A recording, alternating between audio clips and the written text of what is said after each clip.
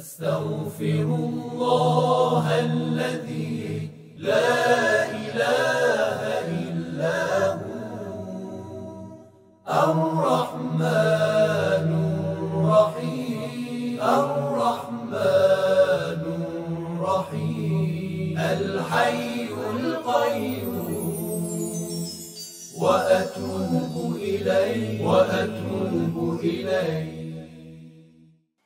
سلام علیکم جمیعا و رحمت الله. أعوذ بالله من الشیطان الرجیم بسم الله الرحمن الرحیم لا حول ولا قوة إلا بالله العلی العظیم الحمد لله الذي جعل الحمد مفتاحا لذكره وسببا للمزيد من فضله. ودليلا على آلائه وعظمته. ثم الصلاة والسلام على حبيبه وخيرته. أبي القاسم المصطفى محمد.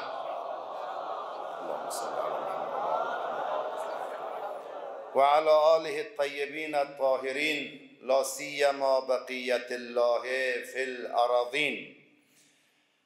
قال الله تبارك وتعالى يا أيها الناس قد جاءتكم موعظة من ربكم وشفاء لما في الصدور وهدى ورحمة للمؤمنين. عباد الله أوصيكم ونفسي بتقوى الله. خداوند علی علا را بر توفیق حضور در مراسم نماز جمعه سپاسگزاری می کنم خودم که از همه بیشتر نیازمندم همه شرکت کنندگان خواهران و برادران را بر رعایت تقوا پروا پیشه کردن سفارش می کنم تقوایی که اگر به او برسیم یکی از آثارش تشخیص حق از باطل است. یکی از آثارش حراست و حفاظت خودمان از هر آسیب و ضرر و زیان است. الا فسونوها و تصونوا بها امیر بیان فرمودن مردم هوشیار باشین تقوا رو حفظ کنین و خودتان را با تقوا محافظت کنید. خطبه اول بر اساس سیره و سنتی که تا هنوز حتی المقدور رعایت شده موضوع از موضوعات اجتماعی و زندگی را از منظر قرآن دنبال می‌کنیم. این هفته بحث وفای بعد را به عنوان یکی از نیازهای جدی اصلاح جامعه و زندگیمان از قرآن با آدرس مشخص دنبال و پیگیری می‌کنیم خطبه دوم مناسبت های تاریخی و مناسبت های اجتماعی است. مسئله روز کتاب تخریب بقی در هشتم شوال قبل از حدود 100 سال مسائل جاری روز و جهان اسلام و کشورمان از موضوعات است که در خطبه دوم پی می‌گیریم. برای اون که ورودمان به این بحث مقدار جدی تر باشد بحث وفای بعد را با آیه از قرآن آغاز می‌کنم. سوره اعراف از طولانی ترین سوره های قرآن است. دوصد و شش آیه دارد. این سوره آغازش با عبارات جدی است. کتاب انزل الیک.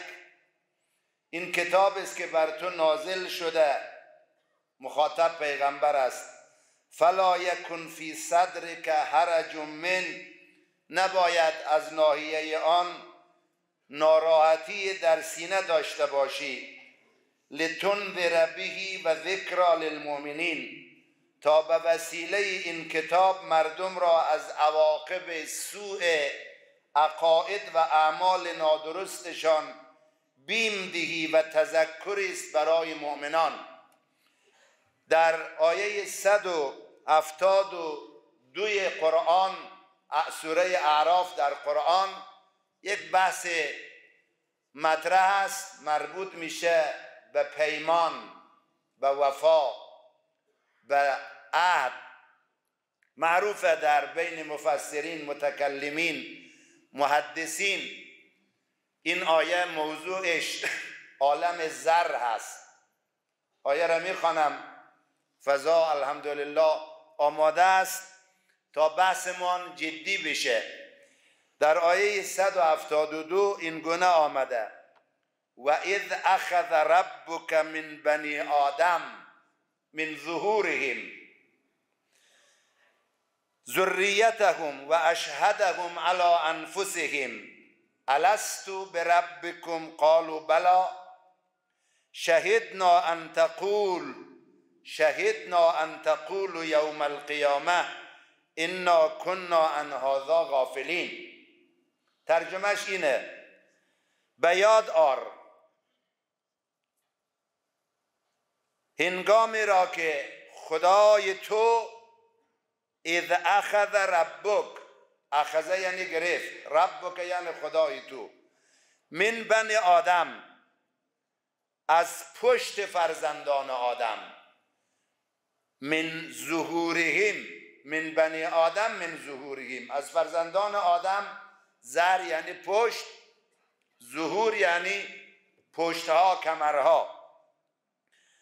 از پشت فرزندان آدم ذریه آنها را برگرفت و آنها را بر خودشان گوا ساخت و اشهدهم علی انفسهم.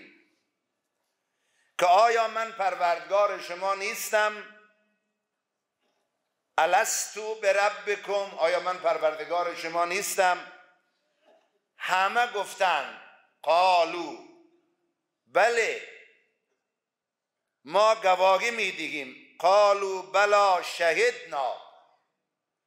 و ما گواه هستیم که دیگر در روز قیامت نگویند ما از این واقعه غافل بودیم. این آیه که در سوره مبارکه اعراف است موضوع عهد و پیمان را مطرح می‌کنه. حالا از باب اتفاق مجری عزیزم در علائم تقوا یکی از سه چیزی را که مطرح کردن مسئله وفای به عهد بود. از این آیه استفاده می شود که در یک عالمی در یک مرحله یک تعهد عمومی و یک پیمان کلی از بشریت و از انسانیت گرفته شده. اون عالم در تفسیر در بین دانشمندان معروف است به عالم ذر عالمی که انسانها به شکل ریز و ذرات مطرح بوده. من همیشه عرض کردم الانم عرض می‌کنم قرآن رو باید به زبان در بیاریم. امیر بیان فرمودن الا فستنتقو قرآن به زبان در بیاریم قرآن سامت قرآن ساکت که نمی‌تواند مشکل جامعه را حل بکنه. قرآن رو باید با همه تلاش ها به تعبیر پیامبر با شخم زدن با ثوره زیر و رو کردن به زبان در بیاریم. حالا این عالم که دوستان جوانان عزیز علمایی که در جلسه هستن همه شما این سوره را بخوانین این آیه را بیشتر دقت کنین. این عالم کدام عالم است؟ کجا بوده که از انسانها خدا تعهد گرفته؟ اقوال زیاده. متکلمین محدثین مفسرین مطالب زیاده گفتن. دو قول یکی خیلی ضعیف و یکی خیلی قوی که قطعا اون قول قوی بیشتر مورد تاییدمان هست. من به این دوتا اشاره می‌کنم و موضوع از همینجا آماده بهره برداری می شود جمع از محدثین گفتن مراد از اون عالم زمان است که فرزندان آدم از صلب حضرت آدم به صورت ذرات کوچیک خارج شدن. خب همه ما معتقدیم آدم ابوالبشره. خداوند تا آخرین انسان را از صلب آدم به شکل ذرات بیرون کرد که فضا را پر کردند منتها اون ذرات دارای شعور بودند دارای عقل بودند قدرت بر تکلم و سخن گفتن داشتند چون آیه را دقت کردین. و از اخذ ربک من بنی آدم من ظهورهم. خداوند اینها را مخاطب قرار داد. از اونها سوال کرد. الستو بربکم؟ آیا من خدای شما نیستم؟ همه گفتن قالو بلا شهدنا. خب به این شکل اولین پیمان بر ربوبیت بر توحید و بر خالقیت از همه انسان ها گرفته شد و خود انسان ها شاهد خیشتن شدند. این یک برداشت و یک بیان است درباره آیه 172 سوره مبارکه اعراف که موضوعش تعهد و پیمان و خلاصه وفاداری است. و با اصطلاح عالم زر این آیه و این موضوع در بین دانشمندان معروف است و شناخته می شود. منتها این برداشت و این قول اشکالاتی دارد. اولین اشکالش اینه که طبق این برداشت برخلاف سراحت آیه از صلب خود حضرت آدم همه بیرون شدن در حالی که کلمه بنی آدم در این آیه است. از فرزندان آدم. زمیرهایی که برمیگرده همه جمع است. من بنی آدم من ظهورهم ذریتهم و اشهدهم علی انفسهم. همه اینها زمیرهای جمع است. ثانیا کلمه ظهور آمده. اگر یک آدم بود یک انسان بود که حضرت آدم علی نبینا و علیه و السلام یک نفر بود دیگه نیاز به استفاده ظهور نداشت. پشتها کمرها. و همینطور اگر چنین پیمانی بود با این سراحت در اون عالم خب باید به یاد ما انسان ها بود. ما فردای قیامت خیلی از صحنه ها را وقتی مواجه میشیم به ما میگن به یاد میاریم.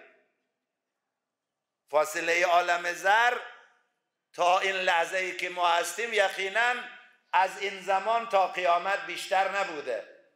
پس این برداشت خیلی قابل هضم و قابل تایید نیست. این دیدگاه اهل حدیث و بعضی از محدثان بودند دیدگاه مفسرین. امیدوارم که عزیزان نماز جمعه با این روی کرده که به موضوعات قرآنی دارن مطلب را در حد که مطرح می شود بگیرن. منظور از عالم زر این است که ذرات نخستین وجود انسان یعنی نطفه خب می‌دونین اولین مرحله نطفه است. از پشت مردان وقت و پدران به رحم مادران انتقال یافتن و تدریجا در عالم جنین به صورت انسان کامل در آمدن در همون لحظه چون تعبیر این است و از اخذ ربک من بنی آدم من ظهورهم.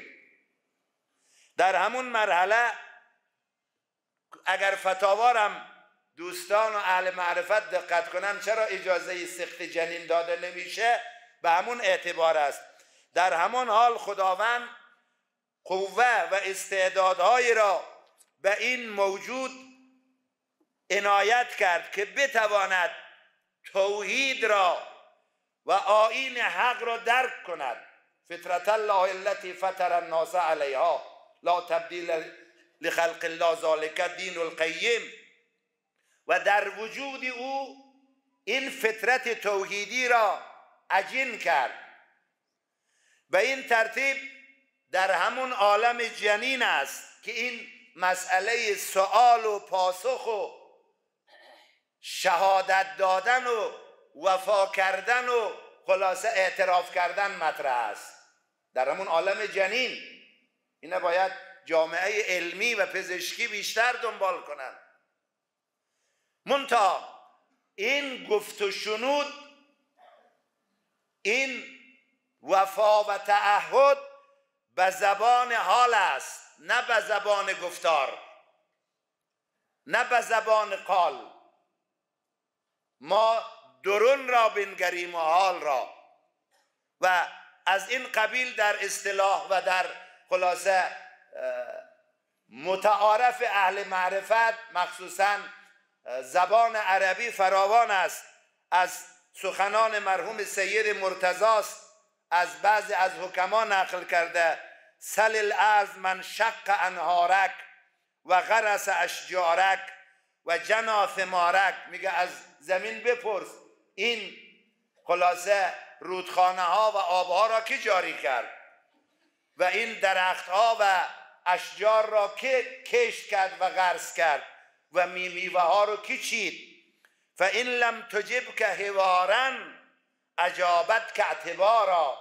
اگر به گفتار و به زبان جواب ندهد اما با صحنه و با حال و با این تاریخ کهن جواب میده که این انها را که جاری کرد غیر از خدای خالق و این همه تدبیر کلان جز کار او از کسی دیگری نیست.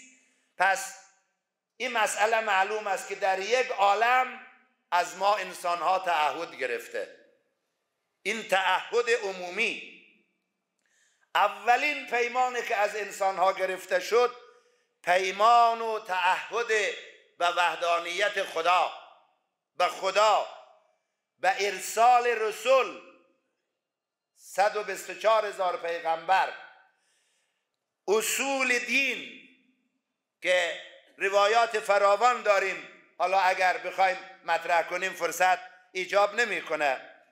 میگذریم وارد اصل موضوع بشویم. اهمیت وفای بعد. چقدر وفای بعد در زندگی بشر و در زندگی جامعه اسلامی اثر داره؟ به اندازه مسئله وفای بعد در اسلام مهم است. اگر در حال جنگ با غیر مسلمان در میدان نبرد یک مخالف ما یک همرزم و یک حریف ما که در حال زدن و مبارزه با ما هست اگر درباره گرایش به اسلام تصمیم بگیره بگه آقا اجازه بده من تحقیق کنم این دینی که تو داری و من دارم با تو می جنگم این حقیقتش چیست؟ قرآن میفرماید اون لحظه باید جنگ تعطیل کنی اون آدم رو باید امان بدی. در سوره مبارکه توبه و این احد من المشرکین استجارک اگر یک مشرکی در حال جنگ از تو پناه خواست. فاجر فورا امان بده. حتی یسمع کلام الله تا سخن خدا را بشنود. بعد چون امان دادی بیوفایی نکن. ثم ابلغه معمنه اسلام از این مسیر و از این راه و از این کانال می‌خواهد جامعه را اصلاح کند و انسانها را به اسلام دعوت کند. مسئله وفای بعد به اندازه است که خدا وفای خود را به وفای بعد به بندگانش متوقف کرده. میفرماید اوفو به عهدی اوفی به عهدکم شما به وفای با من پایدار باشین. من با وفای با شما پایدار میمانم. پیغمبر فرمود دین نداره کسی که وفادار نیست. پیغمبر فرمود فردای قیامت نزدیکترین آدم به من کسی است که از همه بیشتر وفادار است. این وفاداری در همه عرصه ها امیر المؤمنین فرمودن ان العهود قلائد فی الاعناق عهدها پیمانها گردنبند هاست اگر کسی اهل وفای به عهدش باشد زیبایی در وجود او تلعلو می کند درخشندگی دلبری. به اون کسی مردم دل می‌دهد. و به اون رهبری مردم تعظیم می کند و فداکاری و ایثار را تقدیم آرمان او می کند که او وفادار است. اگر قمر بن هاشم را دوست داریم و ارادتمان روز به روز بیشتر می شود نتیجه اون وفاداری است. فرمود قلائد فی الاعناق این وفاداری گردنبنهای گردن انسان هاست الى یوم القیامه. فمن وصلها وصله الله و من نقضها خزله الله. هر کس وفادار بود خدا او را بزرگ می‌کنه.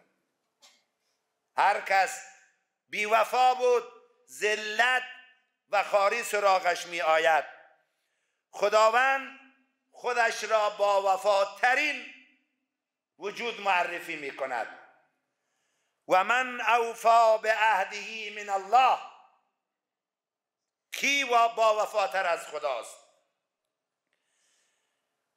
خدا سفارش به وفای به عهد می کند و اوفو به عهد الله اذا آهدتم وقتی عهد بستین پیمان بستین به پیمانتان وفادار باشین ولا تنقض الایمان بعد توکیدها بعد از اونه که قسم خوردین پیمان بستین نشکنین.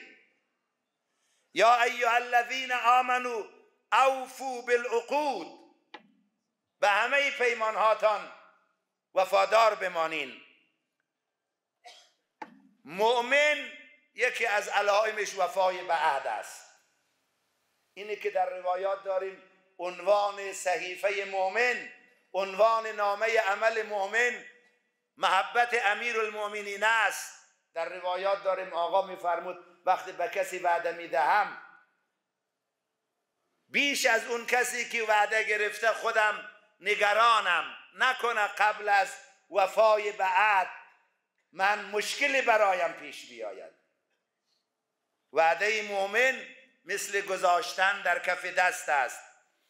والذین هم لاماناتهم و عهدهم راعون. سوره مبارکه مؤمنون. پیغمبر فرمود من کان یؤمن بالله والیوم الاخر فلیف اذا وعد. هر کس خدا و قیامت قبول داره به وعدش باید وفا کنه. پیامبر بزرگوار اسلام شدیدترین برخورد را با پیمان شکنان انجام دادن و همینطور ائمه معصومین. فرصت ایجاب نمی‌کنه. یکی از مشکلات امروز جامعه انسانی مخصوصا جامعه اسلامی این بیتوجهی ها به وفا و پیمان است. در زمان حجاج پلید که جزو جنایتکارترین عناصر خبیث تاریخ است. جمع را محکوم کرد و دستور داد به کشتن و نابود کردن. تاریخ حجاج سرتاسر سر سیاه است. نقل می‌کنن نوبت رسید به کسی که جزو افرادی بود باید کشته می‌شد. جمع زیاد را کشت. موقع اذان بود. خلاصه این برنامه تعطیل شد به معمور سپرد گفت که ایره نگه دار فردا به مجازات و به سزای اعمالش میرسانیم. وقتی از محل اجرای این برنامه شکنجه دور شد این فرد به اون معمور حجاج گفت من بیگناه هستم. مرا رها کن. امشب بروم با خانوادم خداحافظی کنم امانت ها رو برگردانم. فردا سر ساعت برمیگردم. معمول حجاج یک تبسم کرد تعجب کرد گفت چی میگی؟ تو باید کشته بشی. آیا بری برمیگردی؟ بعض وقتا باید حق گفت. این فرمول حق است. سخنان این بیگناه تأثیر گذاشت. به او اجازه داد مشروط به این برگرده. وقت رفت دیگه مطمئن شد بر نمیگرده. اما در عالم ناباوری رأس ساعت برگشت. تعجب کرد گفت چگونه برگشتی؟ اعدام در انتظارت است. گفت که مؤمن به وعدش وفا می‌کنه. قضیه را منتقل کرد. به حجاج با اون خباست. باید وجدانها را بیدار کنیم. گفت من چون بیگناه بودم و از طرفی وعده دادم برگشتم. با این حقیقت خواهی و وفاداری آزاد شد. اما از معمور تشکر نکرد. خداحافظی کرد رفت. بعد از چند روزی برگشت. برای تشکر. گفت چرا اول تشکر نکردی؟ گفت که اول رفتم از خدایم تشکر کنم. او به من دستوری وفاداری داده بود.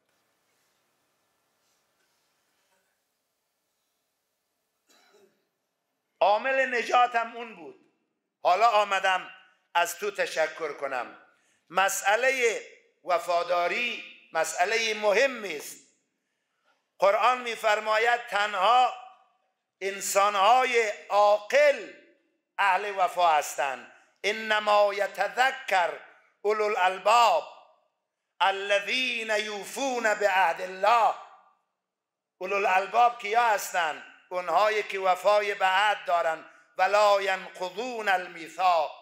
پیمانها را نمیشکنن قرآن لحظه به لحظه نمونه ها و مصادیق وفاداری را معرفی می‌کنه. وذکر فی الکتاب اسماعیل. پیامبر اسماعیل را در قرآن یاد کن. انه کان صادق الوعد.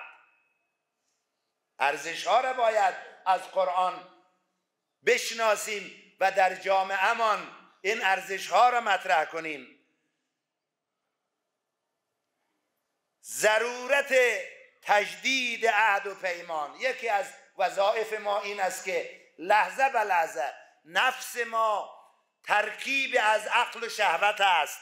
ما را به سمت بیوفایی میکشاند. باید راه های تجدید پیمان را لحظه به لحظه دنبال کنیم. یکی از بهترین راه های تجدید عهد و پیمان و مبارزه با اهریمن پیمان شکنی این است که رابطه با خدایمان را بیشتر کنیم. در دستورات اسلام برنامه های زیبایی است. میگن حج بریم. ولله علی الناس حج البیت من استطاع الیه سبیلا. امام صادق فرمود وقتی حج رفتی در عرفات و اعترف بالخطایا به عرفات وقتی رفتی به عرفات به گناهان و خطاهایت اعتراف بکن. و جدد عهدک عند الله. اونجا با خدا تجدید عهد کن. به وحدانیته وقتی حجر الاسود را لمس می‌کنی بگو امانتی ادیتها و میثاق تعهدتو. امانتم را ادا کردم پیمانم را تجدید کردم. لتشهد لی بالموافات. امروز شما فضاهای علمی را دنبال بکنید خیلی از غیر مسلمان ها در این عکس العمل که حاجی ها در مقابل حجر الاسود دارن متحیرن. در شب قدر شب تجدید پیمان است. در غدیر در مناسبت بزرگ که از اعیاد عظیمه است. اونجا باید تجدید پیمان کنیم. اون جایی که خدا به پیغمبر میفرماید یا رسول الله این سخن را به گوش همه برسان و وظیفه بزرگ تو همین است که پیغمبر فرمود این سخن را باید از اول تا آخرش گوش بدین. الا و ان رأس الامر بالمعروف و نهی عن المنکر. سر و رأس امر بالمعروف و نهی از منکر ان تنتهو الى قولی. این سخن مرا تا پایانش بشنوین و به دیگرا برسانین. در غدیر مسئله تجدید عهد و پیمان مطرح است و چه زیباست که ما در این مناسبت می‌خوانیم الحمدلله الذی اکرمنا به هذا الیوم. خدایا ممنونتیم که ما را در این روز احترام کردی. و جعلنا من المؤمنین. و جعلنا من الموفین به عهده ما را از کسان قرار داده که به اون عهد وفا می‌کنیم. الذی عهده الینا و میثاقه الذی واثقنا به من ولایت ولات امره و القوام به قسته ولایت کسانی که عدالت را جهانی می‌کنند. نمازگزاران عزیز ارادتمندان و باورمندان به تاووس بهشتیان و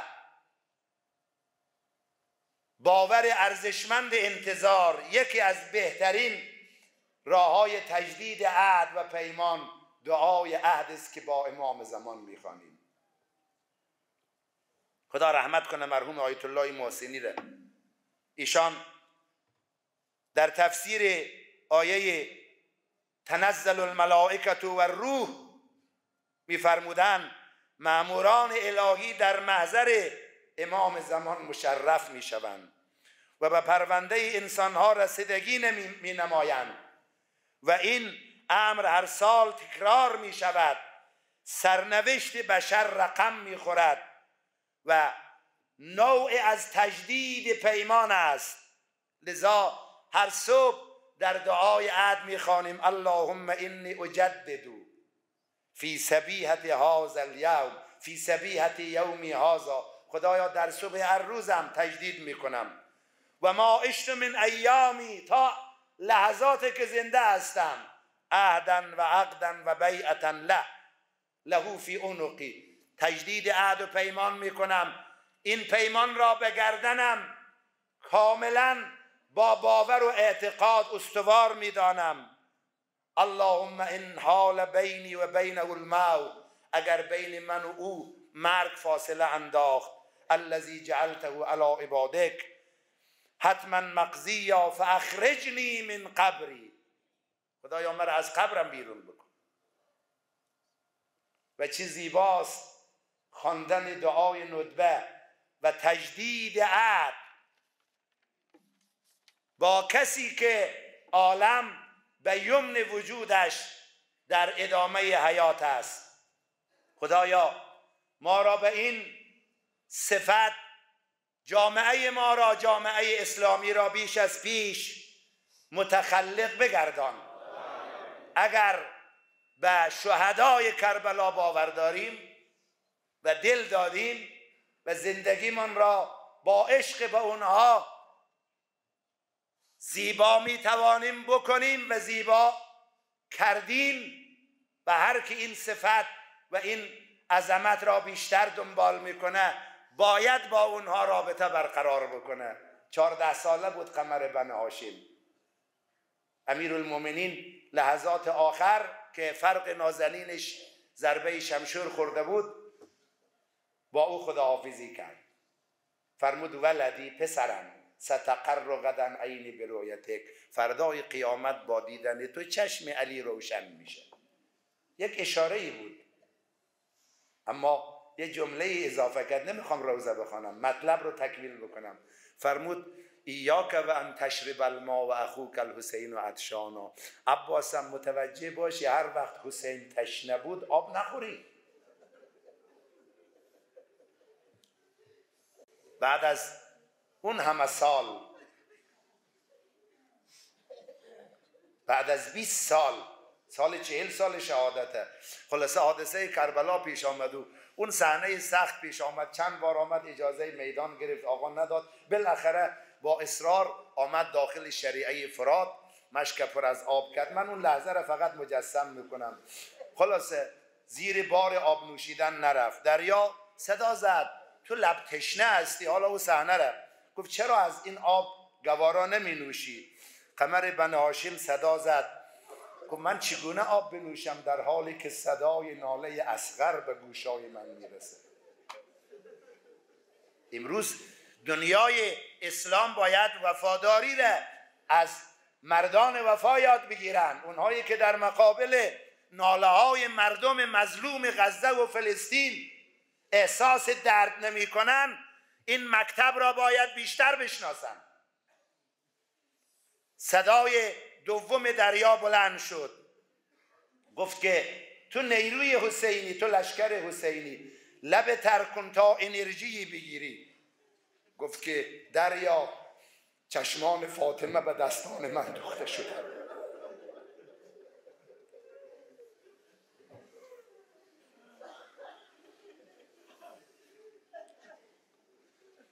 زبان دریا عوض شد گفت که می‌دانم زیر بار نمیری. گفت به همون اندازه ای که لبهای تو تشنه است. گفت من دریا به این لبهای تشنه تو نیازمندم. صدا از حلقوم خشک عباس بلند شد گفت که اگر من آب بنوشم سینه و قلب و ماف زمیر رباب مادر اصغر از من تشنه است. آخرین فراز عرض بکنم گفت اگر زیر بار آب خوردن نمیری چرا می‌خوای آب ببری؟ خب چرا آب با این زحمت می‌بری؟ صدای عباس بلند شد گفت من وعده آب به اطفال دادم. اگر نام قمر بن هاشم برده می شود در اون مجلس امام زمان نگاه می‌کنه. دلیلش اینه که در وفاداری سر آمده است. ما مسئله وفای به عهد را به عنوان یک راه سعادت راه عزت به حکومت ها به فرهنگیان به دانشگاهیان به اهل قلم به اهل رسانه بازگو می‌کنیم. تمام نیازهای بشر و عوامل سعادت در قرآن هست. من اراد علم الاولین و الاخرین هر که دنبال علم اولین و آخرین است قرآن را باید زیر و رو کند. خدایا ما را با قرآن بیش از پیش آشنا و عامل بگردان. اعوذ بالله من الشیطان الرجیم. بسم الله الرحمن الرحیم. والعصر. ان الانسان لفی خسر الا الذين امنوا وعملوا الصالحات وتواصوا بالحق وتواصوا بالصبر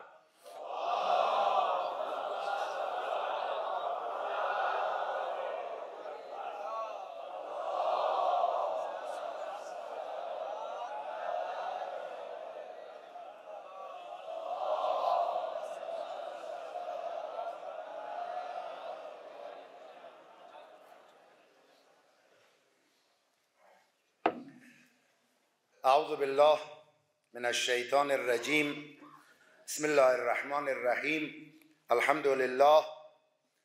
الصلاة والسلام على محمد رسول الله.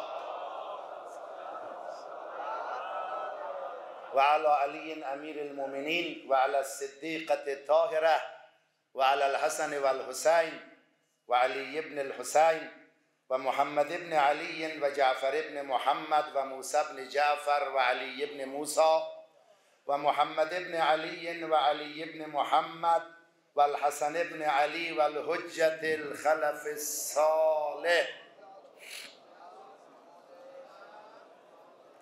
ائمت المؤمنین بار دیگر خودم و همه شما عزیزان را به رعایت تقوا پروا پیشه کردن سفارش می‌کنم.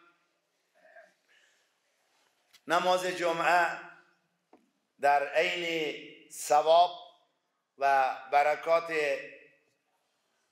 بزرگ و غیر قابل درک برای خیلی از انسان ها دارد.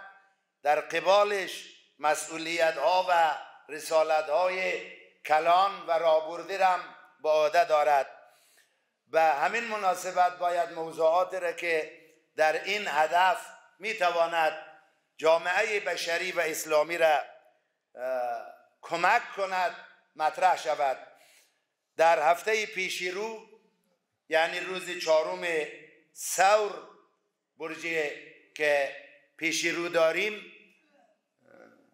روز چهارم که مصادف میشه با 23 اپریل اسم گذاری شده به مناسبت روز کتابخانی از طرف جامعه جهانی. این روز را نامگذاری کردن به روز کتاب و کتابخانی. غرض این است که مسئله کتاب جایگاه کتاب اثر و در واقع برد و نقش کتاب را به این وسیله بیشتر معرفی کنند و جامعه را به این سمت بکشانند خب مسئله فرهنگ کتابخانی در جوامع بشری از یک جایگاه بسیار با اهمیت و ارزشمند برخوردار است. هر مردم و هر کشور و هر جامعه که به کتاب احتمام میورزه و به کتابخانی خیلی سره مشکلاتش حل میشه. بدترین خسارت والعصر ان الانسان لفی خسر انسان ها در حال ضرر هستند خسارت بیتوجهی جامعه به کتاب است. تنبلی نسبت به کتاب است. هیچ چیز سرزمین ها را به اندازه این تنبلی و این بیتوجهی آسیب نمیرساند. یکی از موضوعات را که مطرح می‌کنیم مسئله خلاصه بحث توجهی به کتاب است. انشالله مسئله دیگری هم هست که برسیم اونم مطرح خواهیم کرد. ما باید در کشورمان یکی از برنامه هایی را که شاهدش هستیم هم در بخش تولید کتاب واقعا کشور آسیب دیده. دانشگاه های ما مراکز تحصیلات عالی ما حوزه های علمیه ما کم فکر و تولید فکر دارن. این یک مسئله است. مسئله دوم چگونه کتاب ها را بخوانیم؟ خب هر کتاب را نباید خوان چه مقدار باید به کتاب بپردازیم؟ همه اینها از موضوعات است که در اسلام در برنامه های اسلامی گنجانده شده. و تذکر داده شده. اسلام ادامه پیشرفت و حاکمیت عقل و اسلام را در گرو کتاب خواندن و ارتباط با کتاب می‌داند. سهم کتاب در انتقال دانش به مراتب بیشتر از سایر ابزار است و سهم قرآن در این میدان بالاترین سهم است. امام صادق علیه السلام شاگرد داره همراه داره. علما اهل معرفت می‌دانند به نام مفضل ابن عمر. همراه حضرت بوده خاطراتش نوشته. کتاب است به نام توحید مفضل. حضرت به ایشان میفرماید اکتب و بس علمک فی اخوانت بنویس و علمت را در بین برادرانت منتشر بکن. فان مت اگر مردی فاورس کتب که بنیک. این کتابات به فرزندانت ارث بگذار. نه تنها پسرای نسبی ما سلبی ما. همه افراد جامعه شاگرد و اونهایی که از ما چیزی یاد می‌گیرن اینها خلاصه با ما رابطه دارن. حضرت فرمود فانه یأتی علی الناس زمان حرج. یک زمانی حرج و مرج بی برنامگی می آید. لا یعنسون فیه الا به کتبکم چیزی مردم نمی‌تونن نجات بدن جز نوشته و جز کتاب های سالم. امام مجتبی علیه السلام فرمودن حالا که آماده هستین انکم صغار و قوم. حالا کوچکین و یوشک ان تکون کبار قوم آخرین. همین اطفال فردا بزرگان جامعه بعدی می‌شوند. دانش آموزان طلاب که تازه وارد مدرسه ها شدن. داخل مکتبا میرن. اینا رو باید درست تربیت بکنیم.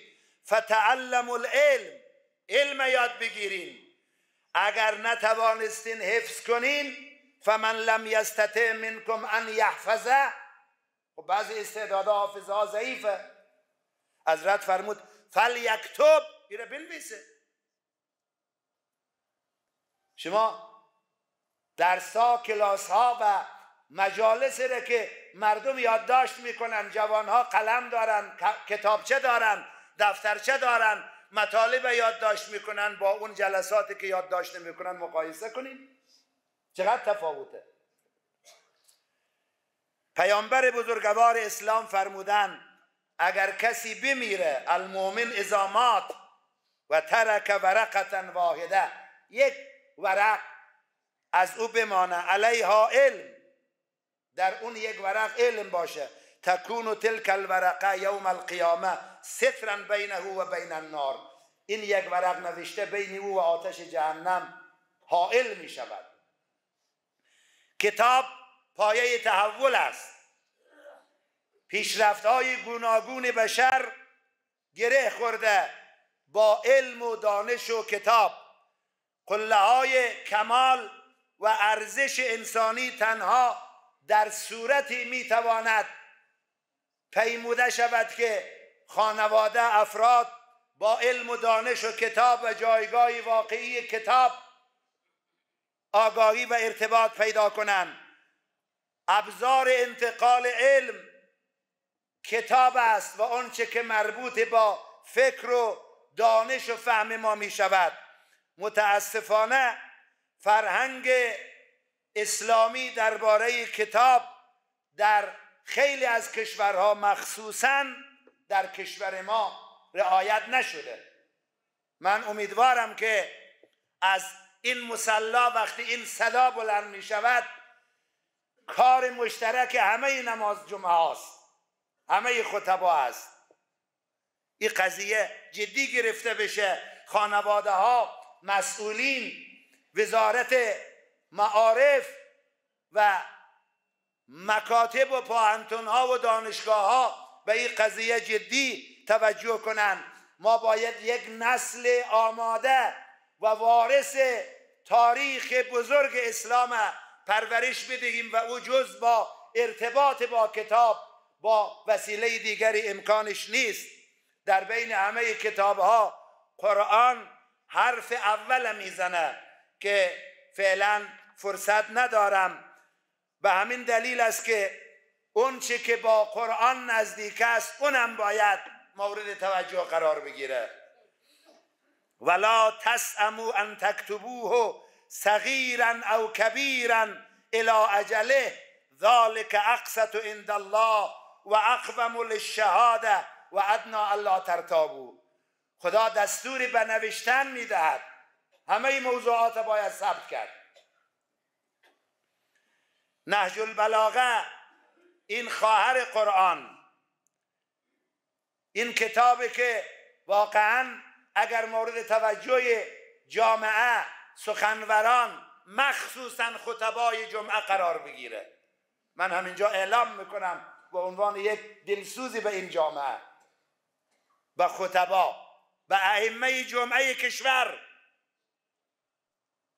بیاین از این کتاب در خطبه ها استفاده کنند دریای از آرامش بیداری بصیرت در این کتاب نهفته است. چند تا ویژگی داره. زیبایی و فساحت و انسجام بی نظیر. خطبه متقین یک دوره بخوانیم. بعضی نامه های حضرت رو بخوانین. بعضی از حکمت ها را بخوانین. تأثیر نظیر این سخن. هم شنیدم و هم تجربه کردم. این کتاب لازم است مورد توجه و استفاده قرار بگیرد. از این بیشتر فقط از باب تذکر این را عرض می‌کنم معطل نشیم. باید کتاب های سالم بخوانیم. پر است بازار از کتاب های ناسالم. ما وظیفه نداریم فکرمان را با خواندن خیلی از رمان ها داستان ها شبهات آلوده کنیم. باید کتاب صحیح بخوانیم. راهش هم معلومه. مطالب را باید با قرآن عرضه کرد. هر موضوعی که مورد تایید قرآن است بخوانیم. هرچی نبود رها کنیم. فرهنگ کتابخانی را با مدیریت انشالله پیش ببریم. چرا جامعه اسلامی مخصوصا جامعه افغانی ما افغانستان ما کتاب گریزن خیلی کم کتاب خوانده میشه. خیلی از مطالب را از آدرس بعض کتابا میگن. وقتی مراجعه می‌شود می‌بینیم اون چیزی را که از او کتاب گفته به دقت نگفته. این دلیل بر این است که با دل با جان دنبال کتاب نیست. یکی از دلایلش عدم احساس ضرورت است. وقتی آدم چیزی را ضروری و لازم ندانه دنبال او نمیره. باید این ضرورت را گوشزد کنیم. این ضرورت را تفهیم کنیم. اجتناب ناپذیر است مسئله توجهی به کتاب. و مسئله دوم که می‌تواند در این عرصه ما را کمک بکنه کتاب های مفید روان و مؤثر را انشاءالله دنبال کنیم. دومین نکته ای را که عرض می‌کنم و خطبه دومم طولانی نشود از باب مسئولیت نماز جمعه. بقی قبرستانی که در مدینه است نزدیک حرم پیامبر بزرگوار اسلام معروف است. به جنت البقیع یا بقیع الغرقد نام پیش از ظهور پیامبر مهمترین قبرستان مسلمانان در مدینه. و بنابر روایات مورد توجه ویژه و خاص پیامبر بزرگوار اسلام بود در این قبرستان. مادر امیر المومنین دفن است چند همسر از همسران حضرت پیامبر دفن است. اصحاب پیامبر اینجا دفن است. چهار امام معصوم امام مجتبا امام باقر امام سجاد و امام صادق علیهم السلام دفن است.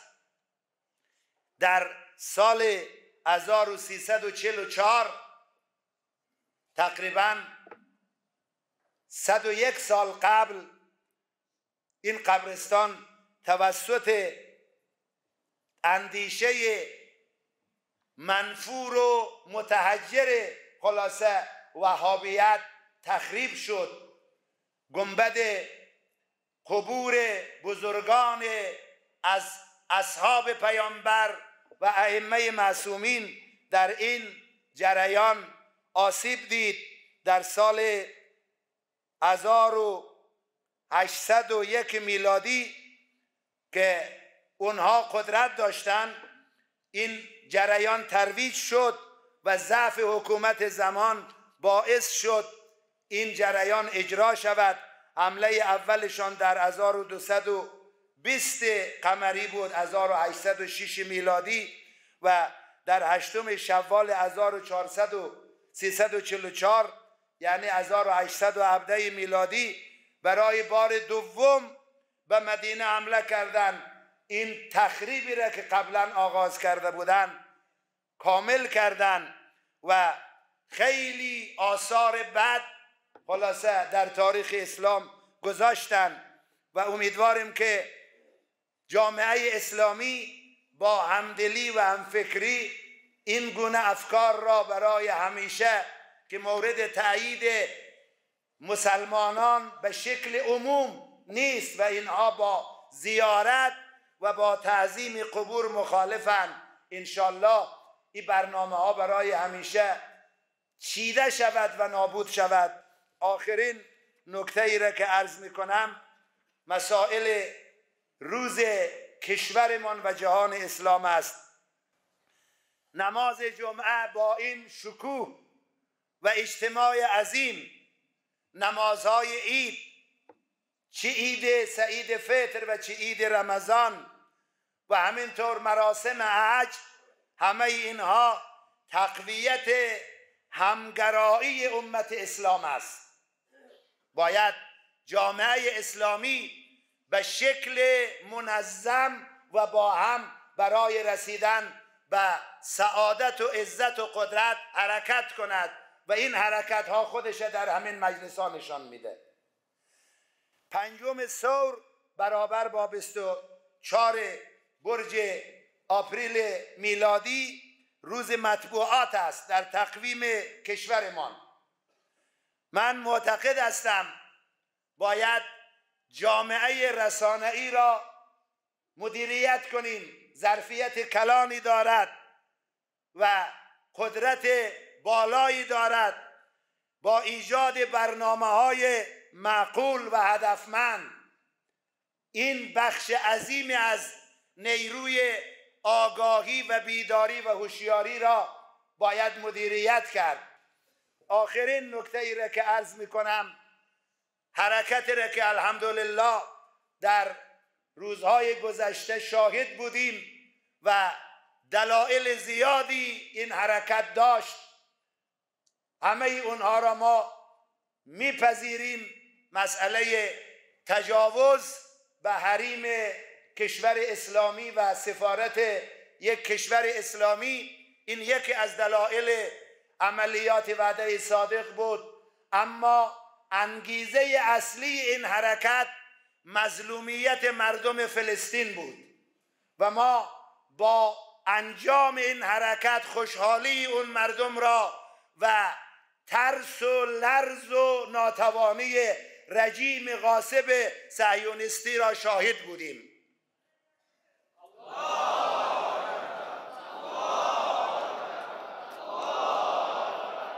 امیدواریم که این حق طلبی و حق از طرف جامعه انسانی و جامعه اسلامی با همدلی و همفکری دنبال شود و توسعه پیدا بکند تا به سفارش قرآن که در مقابل ظالم باید سکوت نکرد و در مقابل مظلوم باید احساس تکلیف کرد و به فرمایش امیر بیان قرآن ناطق کونو للظالم خسما و للمظلوم اونا شاهد مبارزه بزرگتر در مسیر یاری و در واقع کمک کردن به همه مظلومین عالم باشیم. خدایا همه دستهای قدرت خودت که از آستین بندگان صالحت بیرون شده مورد عنایت و توجه و حمایت قرار بده.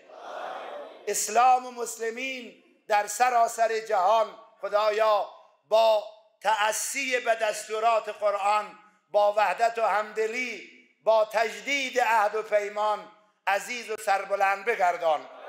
دولت و ملت افغانستان در مسیر وحدت در مسیر عزت بیش از پیش مورد لطف و مرحمتت قرار بده. خدایا مجلس ما برنامه های ما را مورد قبولی خودت نگاه مولامان صاحب از زمان قرار بده. فرج اون عزیز برسان. اعوذ بالله من الشیطان الرجیم. بسم الله الرحمن الرحیم. إذا جاء نصر الله والفتح ورأيت الناس يدخلون في دين الله أفواجا فسبح بحمد ربك واستغفر إنه كان توابا.